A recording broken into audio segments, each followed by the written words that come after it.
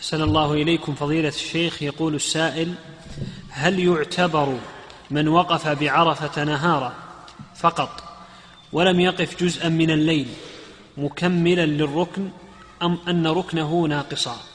لا إذا غربت الشمس إذا وقف إلى أن تغرب الشمس كمل الركن. نعم.